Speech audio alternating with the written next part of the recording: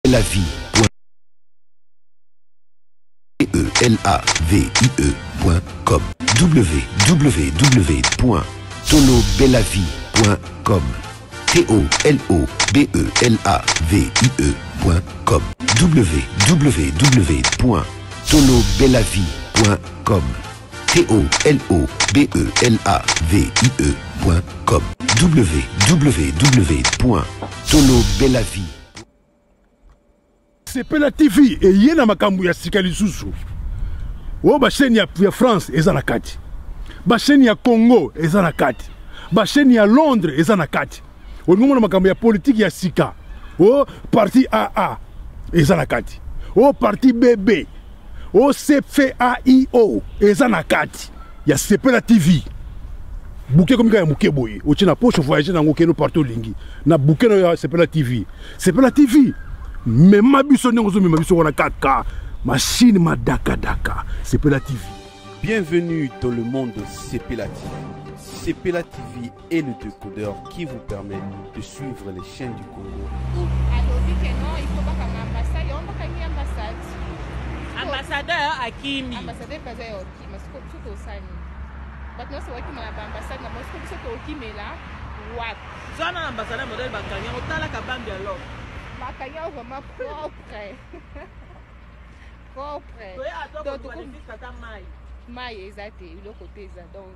Pauvre, bakangi yango vraiment bien. Makambo ya boye namona te eza kaka na Congo. Donc président abandonne na ye biso, tokomi neti ba orphelin na mboko. Bato nyonso bakimela ambassade na bango, siko biso tokimela wapi? Hmm? Epesa soni ye. Eh? Mboka moko ya soni. Hmm? po todeside to tozonga ko tozonga ndeni il faut bamikanda ya laisse passe toleka yo toloba ta laisse hmm? passe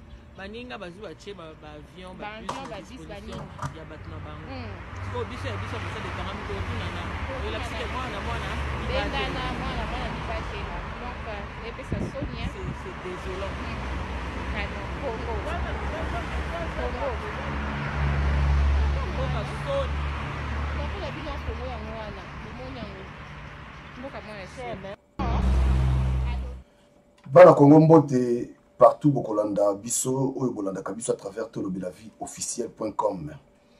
merci na disponibilité na bino soki tolekaka boye ezalaka mingimingi mpo tosola vraiment na bandeko ya biso émission na biso to site na biso ezalaka tolobela vie officiel naleki mpo tosolola merci na grande équipe ya tolobela vie Bandeko nyonso bolandaka biso boyeba ke tozalaki na mwa susi moke mpo na euh, kobongisa toujours boyebi deja tosalaka makambo oyo biso moko yango moni yango ntango totangaka bakombo ya bato oyo basutenaka biso de près ou de loin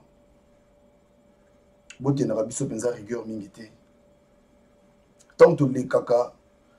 ntango tolobaka ntango mosusu grand prêtre 4 fois prêtre washington le grand pays na munike okoboya yango place nini soki oboyi yango yo osala nini mpo tolobela vie etambola alors toyei kopresente encore baexcuse na biso na baabone na biso na bato bolingaka biso mingi boyeba ke je crois déjà tozangaka mpe baémission te chaque fois totyelaka bino baémission mais tozalaki na mwa bamakambo ebele oyo esengaki tosilisa yango euh, moko kutu yango oyo kala te deja ezosila bokoloba kino olobaka kaka kala te kala te il faut tobanda kosolola mpe na bana congo peuple congolais faut tobanda kosolola chaque soir chaque 21 heures esenga tobanda kosolola mais tozolinga osolola ngo nano boye te parce que il faut bamateriel ba nyonso ezala mpenza en bonne et due forme comme ça tobandi na biso makambo na biso merci na grande équipe ato olobela vie quatre fois prêtre de la lobi wana washington de grand pays bana miniki kala te bozosepela eh, boyebi tozalaka wana kaka mpo na bino tozalaka danse te mais toza bacréateur ya masolo bokosepela mpo masolo eza ebele notre réalisateur steve malungwene toza na posa na yo tosisana makambo oyo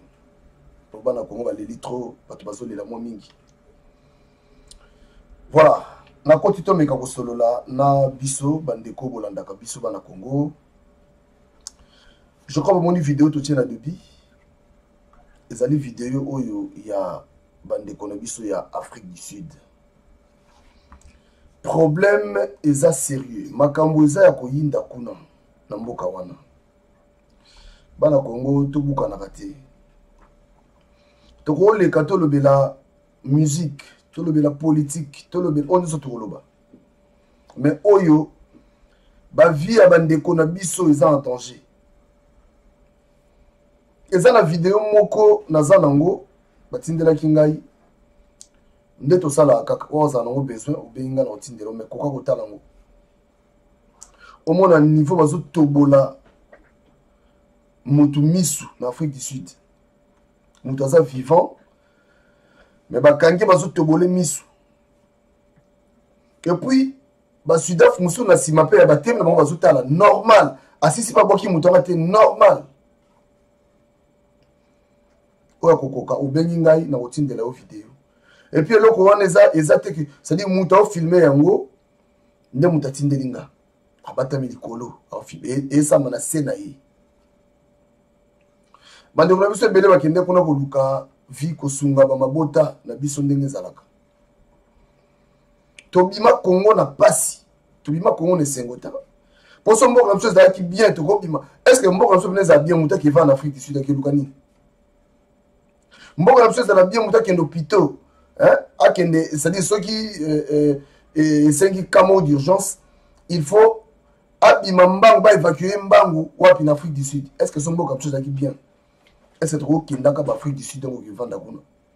kokende ko se faire soigner jamais je ne crois pas so tozokende bamboka wana eza parce que ya ça ne va pas na congo il faut tolobaka ya ça ne va pas na congo ça ne va pas yango eza nango mpo na lelo te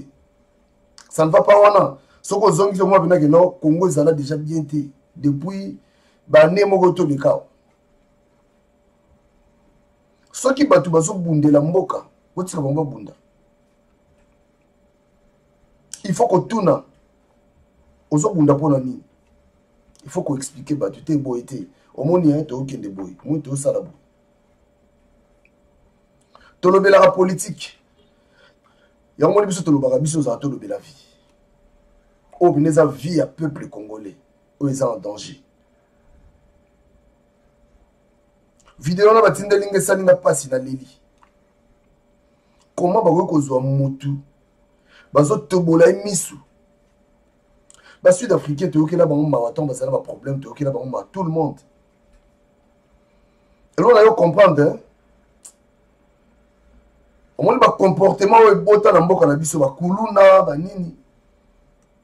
eza bagenre bacomportement oyo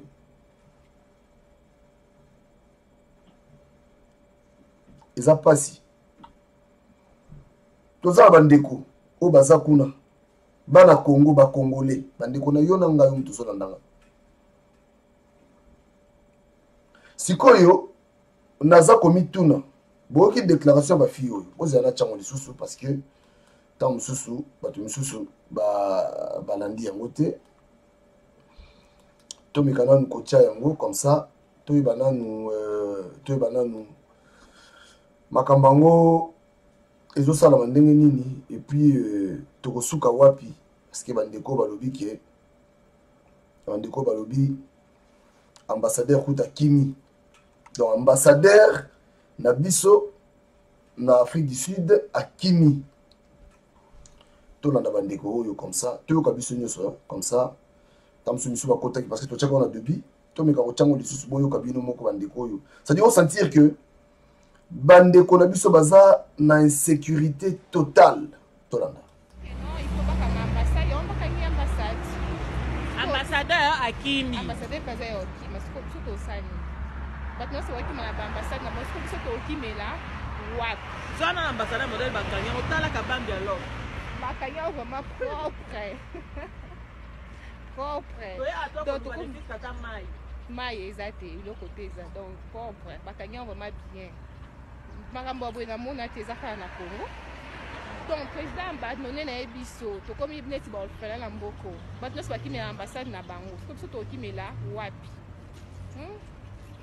Epesa soni hein. Epesa soni. soni. Kongo mboka moko ya mawa. Ko to décider to tozonga ko tozonga ndeni il faut ba ba mikanda ya laisser passer to leka. Yo to loba ta laisser passer. Baninga bazu ba che ba ba avion ba bus na disposition ya bato na bango. Ko biso ya biso basali kanga mito tunana. Yo la psike mwana mwana. Bengana mwana mwana bibatela. Donc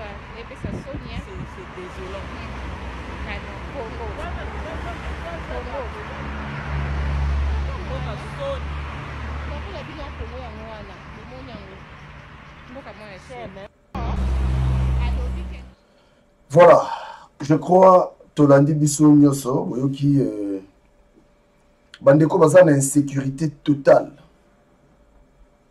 eh, baza na insécurité mwana miniti oyo toloba makambo mosusu makambo mosusu ezosala makambo mosusu mboka na biso ya mboka moko makambo ebotamaka du jour au jour mais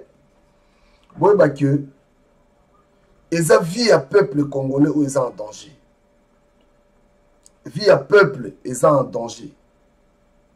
yo ozolanda nga il faut sala quelque chose mpo na mboka eloko nini ozosala mpo na mboka na minute totika na division bandeko na biso baza en danger tala banigérian nde basala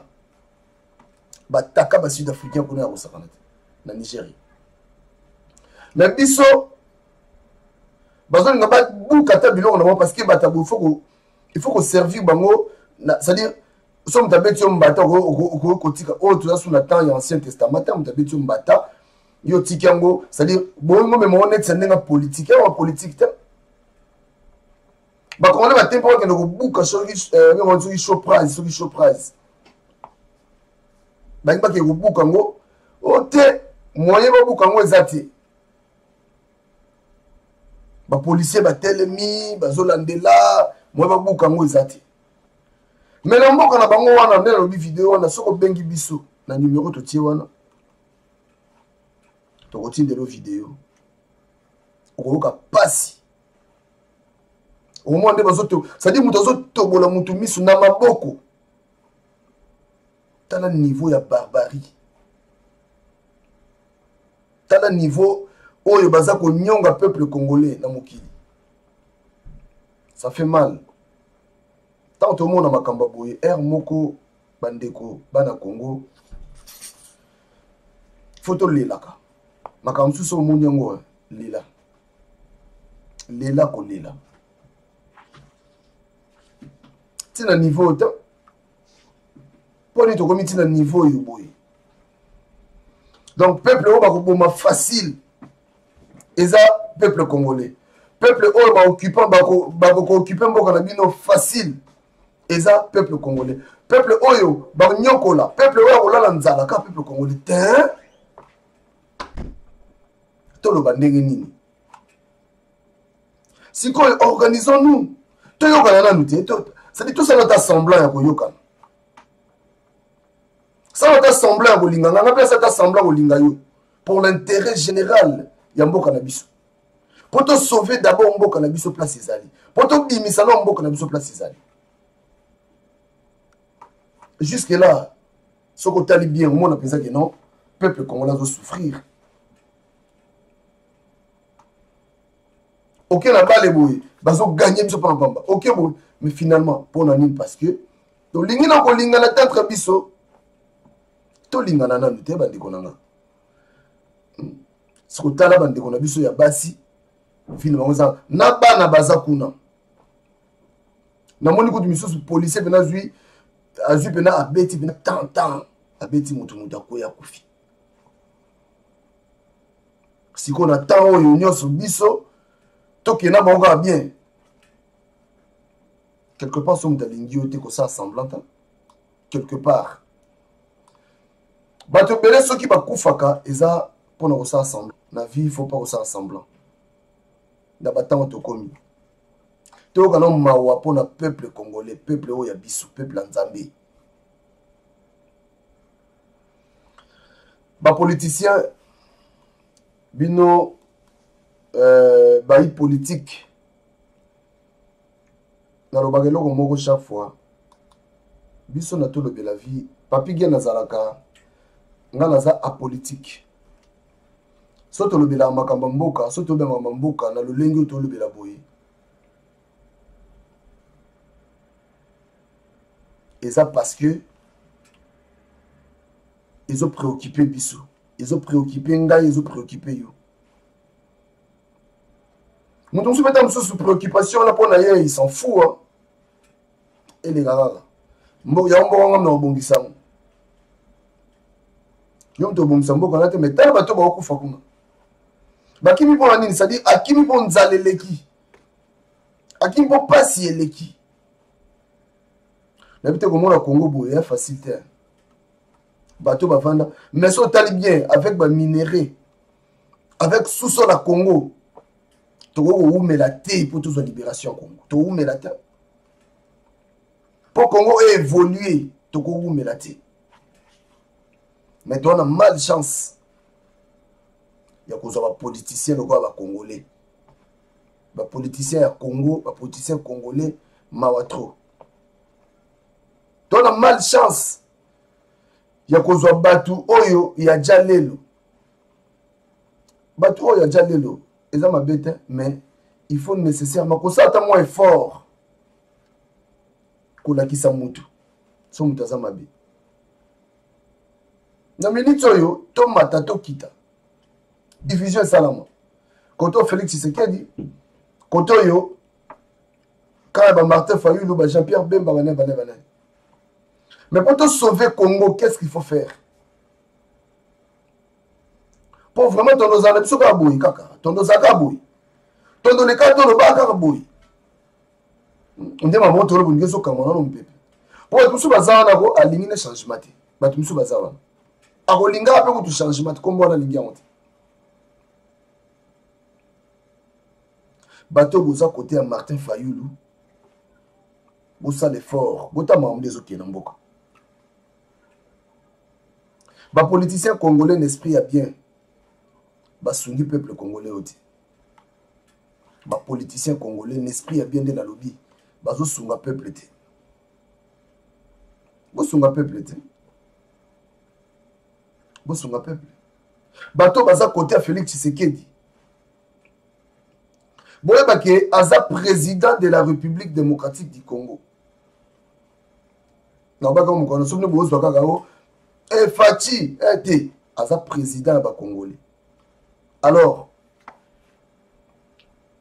botika mwana congo nyonso aza libre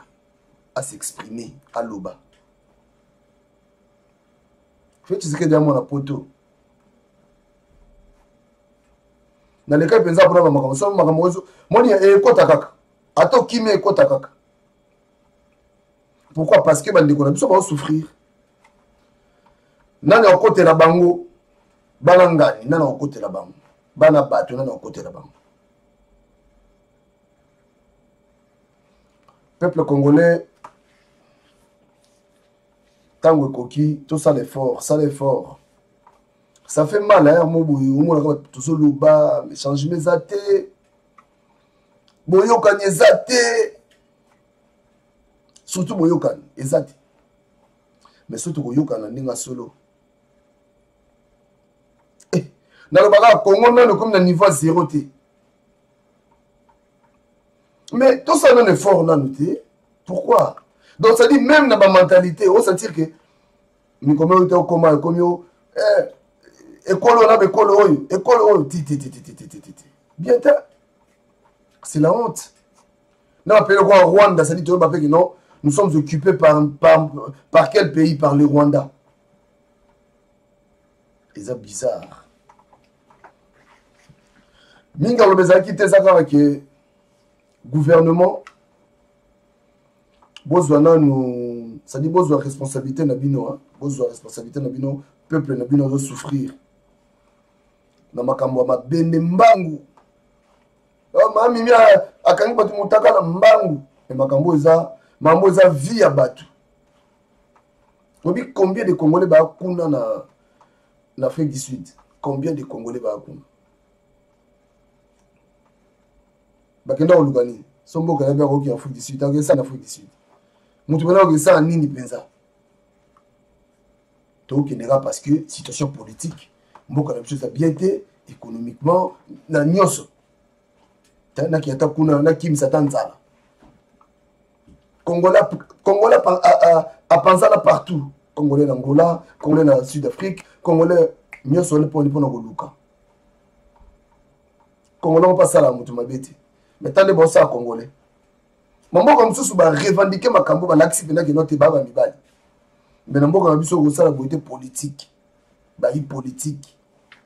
bambila baza wana fo batelemela yo bafo bakanga yo baza securite ya bato baoboma peuple congolais nakomi na suka naleka elongo nabeta masolo oyo tosala no mwa semblant ya kolingana sala semblant kolinga ata ndeko na yo le reste sera après soki kolinga ndeko na yo te yeba ke mawa trop tolobela vie